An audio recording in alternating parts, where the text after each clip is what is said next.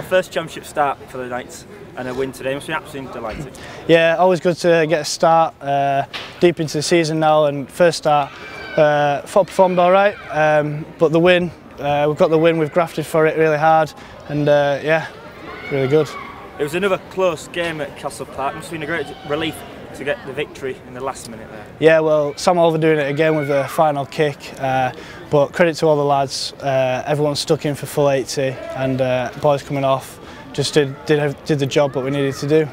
Uh, we next face Cornish Pirates. What positives can you take into that from today? Uh, the shape in the first half, speed of ball we had, like boys were just smashing rucks. The shape we had, we just looked like a great team. Uh, take that first half and hopefully take it full 80 next week.